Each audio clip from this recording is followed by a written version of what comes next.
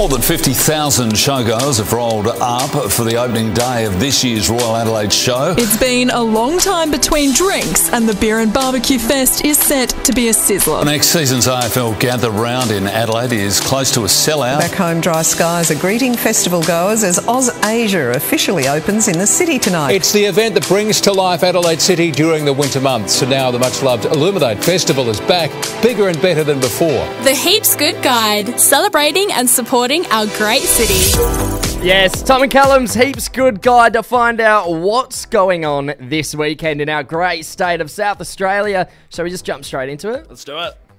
Callum, our first event is none other than the Beachport Crayfish Festival. It's back this year. The Crayfish Festival celebrates the town of Beachport and their most important crustacean, the Southern Rock Lobster. It was a rock lobster!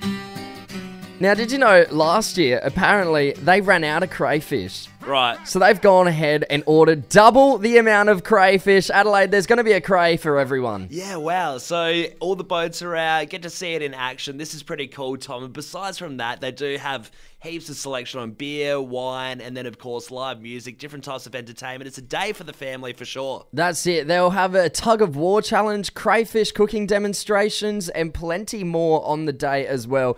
Get, get on down to Beachport for their Crayfish Festival on the 2nd of March from 10am to 10pm. Tom, we're having a look at the Adelaide Writers Week, which is going from the 2nd to the 7th of March. Now, this is Australia's largest free literary festival. Wow, really? Okay. I know it's happening in the city centre, Pioneer Women's Memorial Garden on King William Street. Yep, exactly right. Now, you could be into any sort of literature for this, and it brings together all different readers and writers, and they just share ideas in a garden setting, like you said, in Adelaide's city centre. But there are some big names in writing going to be there doing talks, uh, almost like lectures. If you love your books, head on down to that. Amazing. Stay tuned for the Writers Week. Callum, on the 2nd of March, we have the Ocean Film Festival World Tour happening here in Adelaide. Now, this amazing festival has toured places like Italy, Spain, New Zealand, Mexico, Brazil, the US, and the UK, and now they are here in Australia coming past Adelaide. Well, I'm pretty excited for this one, Tom. It's got all these accolades for going around the world, and for good reason because there's so many different movies that are international on this bill. So if you're having a look at it, you got one from Italy, which looks cool, the Whales song, looking at the communication of whales. But Tom, the Aussie big hitter that I feel like everyone will be waiting for is called Ice Maiden.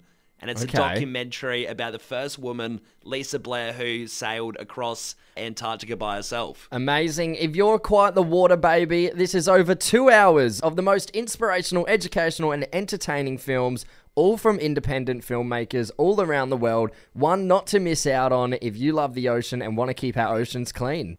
Geez, Tom, there's a lot going on in our great state, but there's a good way to organise yourself and pick what you want to see. That's it. We can't get to everything, but the post can. Find the post on your socials or Google the Post SA.